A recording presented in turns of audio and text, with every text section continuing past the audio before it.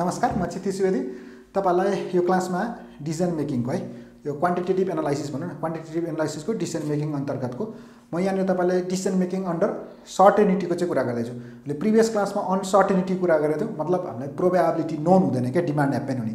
है तिनवटा क्राइटेरियन थियो म्याक्सिम्याक्स म्याक्सिमिन र मिनिम्याक्स रिग्रेट अब यहाँ चाहिँ प्रोबेबिलिटी नोन हुन्छ र त्यो प्रोबेबिलिटी नोन हुँदा के के सोध्छ? यो हामी क्वेसन सल्भ गरौँ। यहाँनिर मसँग एउटा क्वेसन छ। A beer distributor buys cases for rupees thirty each and sells them for rupees fifty each भनेको छ सी कतिमा किन्यो? थर्टीमा किन्यो र फिफ्टीमा बेच्छन् सी एउटा सामान बिक्री हुँदा कति रुपियाँ नाफा हुनुभयो twenty all the cases left at the end of day are worthless भनेको छ भनेपछि सेल्भेज भ्यालु छैन। Where salvage value zero the following table gives the distribution of sales and corresponding probability यहाँनिर केज सोल्ड दिएको छ। दसवटा cage दस cage beer sold हुन्छ जिरो पोइन्ट वान जिरो छ। इलेभेनवटा जिरो पोइन्ट वान फाइभ टुवेल्भवटा भने जिरो पोइन्ट टू जिरो थर्टिनवटा हुने जिरो पोइन्ट टू फाइभ र फोर्टिनवटा हुने जिरो पोइन्ट थ्री जिरो छ। फर्स्टमा छ construct a pay off table previous क्लासको जस्तै हो पे अफ टेबल बनाउने। है त्यो आइडिया हुनु पऱ्यो पे अफ टेबल बनाउँछौँ। त्यसपछि calculate the expected monetary value EMV for each strategy each strategy हुनेछ find the optimal quantity that can maximise the expected profit हुनेछ अनि calculate the expected profit with perfect information अनि calculate the expected value of perfect information भनेको छ अब यो जे भने पनि एउटा क्वेसन गर्न जान्छु मजाले क्वेसन जान्न सकिन्छ गर्न। है यहाँ त्यही अनुसार मैले भनेको अनुसार गरेँ कस्ट प्राइस थर्टी दिएको थियो सेलिङ प्राइस फिफ्टी भनेपछि मार्जिनल प्रफिट भनेको फिफ्टी माइनस थर्टी भन्दा ट्वेन्टी भयो मार्जिनल लस भनेको CP minus salvage value thirty minus zero भयो थर्टी भयो। टोटल प्रफिट कसरी आउँछ? जतिवटा सामान ल्याएको त्यतिवटै बिक्री हुन्छ नि एस इन्टु एमपी स्टकसँग बराबर छ नि। अथवा बढी छ भने पनि डिमान्ड होइन? यो मैले प्रिभियस क्लासमा पनि बुझाएको थियो। र टोटल प्रफिट यदि हामीसँग भएको स्टकभन्दा डिमान्ड सानो भयो मतलब स्टक ठुलो भने त्यो केसमा कति हुन्छ जतिवटा सामान बिक्री हुन्छ त्यसलाई मार्जिनल प्रफिटले मल्टिप्लाई गर्छु र त्यो फाल्टु बसेको सामानलाई चाहिँ केले मार्जिनल लसले मल्टिप्लाई गर्छु। अब यहाँ क्वेसनमा सबभन्दा मिनिमम डिमान्ड भनेको टेन छ र म्याक्सिमम डिमान्ड भनेको फोर्टिन छ। सो उसँग स्टक चाहिँ कतिवटा हुनसक्छ त? भन्दा he may have stock of ten eleven twelve thirteen र फोर्टिन अप्सनै सबभन्दा कमी बिक्री भएको दस छ। दसभन्दा तल पनि जानु भएन र सबभन्दा धेरै बिक्री भएको फोर्टिन छ। फोर्टिनभन्दा माथि पनि जानु भएन। अनि करस्पोन्डिङ प्रोबेबिलिटी तेरो दसवटा सामान हुने जिरो पोइन्ट वान जिरो एघारवटा सामान बिक्री हुन्छ। Zero point one five twelve हुने जिरो पोइन्ट टू जिरो थर्टिनवटा हुने जिरो पोइन्ट टू फाइभ र फोर्टिनवटा हुने जिरो पोइन्ट थ्री जिरो भयो त्यसै गरी यो पिएफ टेबल सेम हुन्थ्यो जस्ट प्रोबेबिलिटी एट भयो। अब मैले तपाईँले कसरी सिकाएको थिएँ प्रिभियस क्लासमा भन्दा यदि तपाईँलाई यो होइन यो डायगनलमा चाहिँ के गर्छौँ हामी? बराबर हुन्छ कि? जतिवटा सामान ल्याएको त्यतिवटै बिक्री हुन्छ। दसवटा ल्याउँदा दसवटै बिक्री भयो। एउटा बिक्री हुँदा बिस रुपियाँ भनेपछि दस इन्टु दस भनेको दुई सय। एघार इन्टु दस भनेको सरी एघार इन्टु बिस भनेको दुई सय बिस। दुई सय चालिस दुई सय साठी र दुई सय असी। यो चाहिँ तपाईँले जान्नु पऱ्यो यो जानिसकेपछि भन्दा त सबै सामान के हुन्छ? आफूसँग भएको सामान भन्दा धेरै सामान ल्याए पनि बिक्री हुने चान्स कति नै हो? जति आफूसँग छ त्यति नै। त्यही भएर यो यसरी राखिन्छ। यो कन्सेप्ट थाहा हुन पऱ्यो र तलतिर झर्दाखेरि प्रत्येक स्टेपमा के हुन्छ? मार्जिनल लस घट्छ। मार्जिनल लस घट्दाखेरि यहाँनिर तपाईँको सुरुवातमा कतिदेखि स्टार्ट भएको थियो? टू हन्ड्रेड थियो। भनेपछि टू हन्ड्रेड माइनस थर्टी हुन्छ। यो गर्दा वान सेभेन्टी भयो। वान सेभेन्टी माइनस थर्टी गर्दा वान फोर्टी भयो। वान फोर्टी माइनस थर्टी गर्दा वान हन्ड्रेड टेन भयो र यहाँ एट्टी भयो। त्यस टू ट्वेन्टीबाट स्टार्ट भयो। टू ट्वेन्टीमा थर्टी गर्दाखेरि टू टेन भयो। टू टेनमा गर्दा वान नाइन्टी भयो। वान नाइन्टीमा गर्दा वान नाइन्टी माइनस गर्दा वान सिक्सटी भयो। यहाँ टू ट्वेन्टी भएको थियो टू ट्वेन्टी माइनस गर्दाखेरि वान नाइन्टी पनि छ यहाँ डिटेल्स वान नाइन्टी भयो वान नाइन्टीमा त वान सिक्सटी भयो र वान थर्टी भयो। टू फोर्टी भयो टू फोर्टीमा गर्दा टू टेन भयो टू टेन गर्दा यहाँ वान एट्टी भयो। त्यसै गरी यहाँनिर टू थर्टी भयो। यसरी पिएफ बन्यो। अब पिएफ बनेपछि उसले फर्स्टमा सोधेको थियो।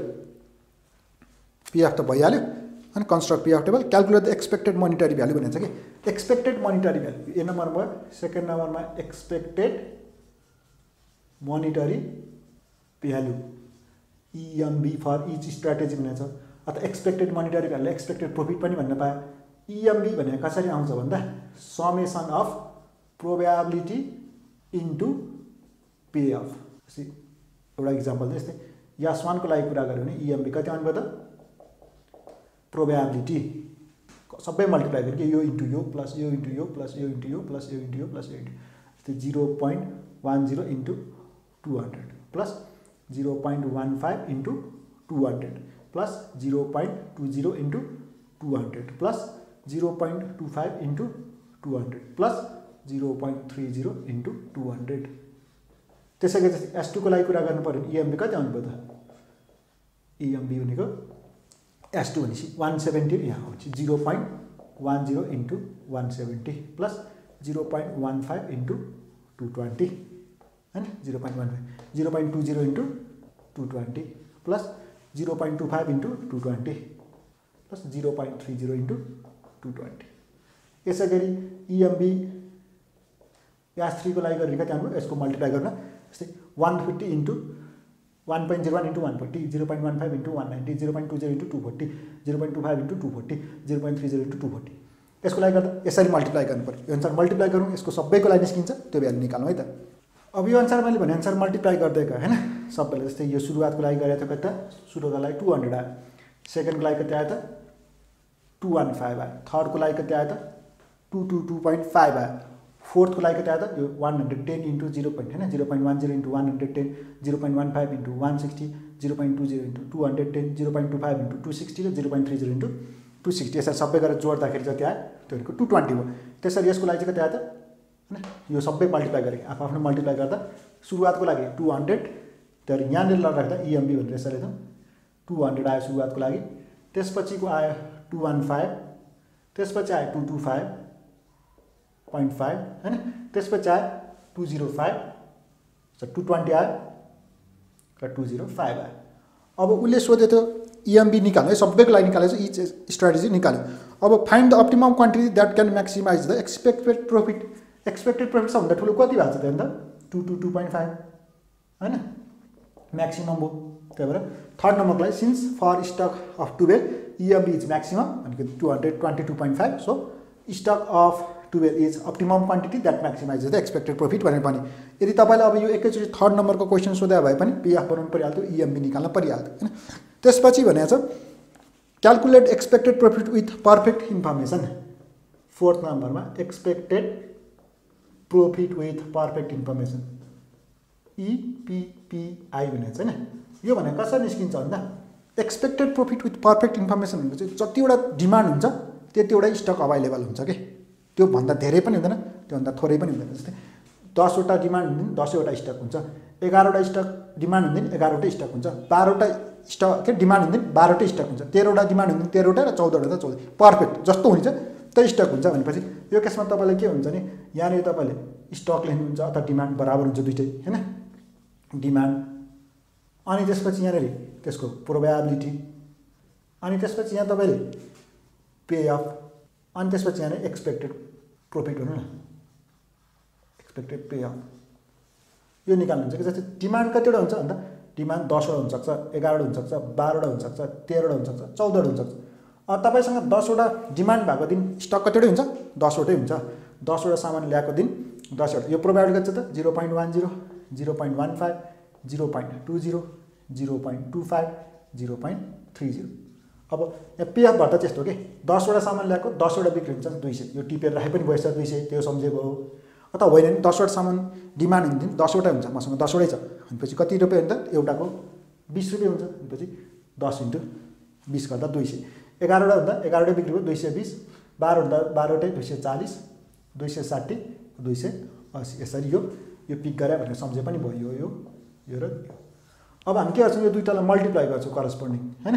अनि जति भ्यालु आउँछ यसमा लेख्छौँ।